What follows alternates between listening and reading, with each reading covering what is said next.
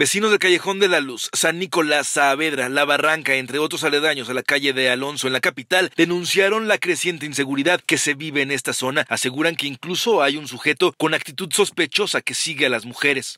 Yo la verdad solo vi una vez una persona de gris aquí sentada como borracha, pero sí me han comentado que es una persona que está finge estar borracha y después sí ya las personas, eso es lo que a mí me han dicho. Ya, pero sí, de que han asaltado a alguien, ya los han agredido. Eso sí no es sabido. ¿Mencionaban que principalmente las muchachas o es así como en general? Sí, pues una vez fue hace mucho, pero a una de mis roomies la siguieron. Entonces, pues sí, se, se, ha sabido mucho de muchas cosas que han pasado ya aquí.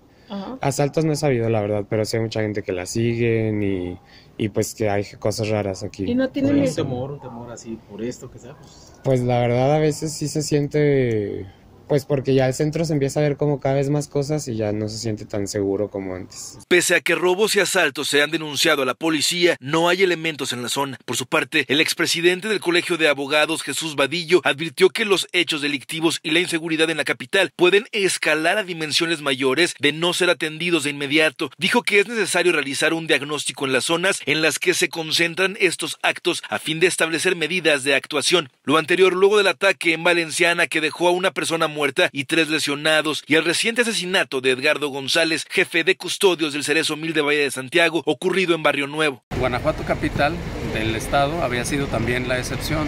Sin embargo, últimamente pues, también ya ha alcanzado este fenómeno a la propia capital y yo creo que es necesario que se tomen acciones conjuntas tanto con el gobierno federal, el gobierno del estado y el gobierno municipal para atajar este problema, porque de no ser así, pues sí se corre el riesgo de, que esto vaya escalando poco a poco y, y, se convierta en un problema mayor.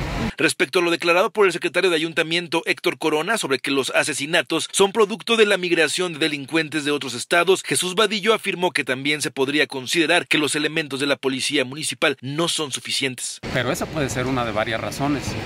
Entonces pues hay que revisarlo, pero, pero también hay que eh, estudiar el fenómeno en su integridad para también poder plantear un, plan, proponer una estrategia de, de, solución, tanto a nivel municipal, pero como digo, en coordinación con las autoridades estatales y las federales, porque este es un fenómeno que no es exclusivo de la capital.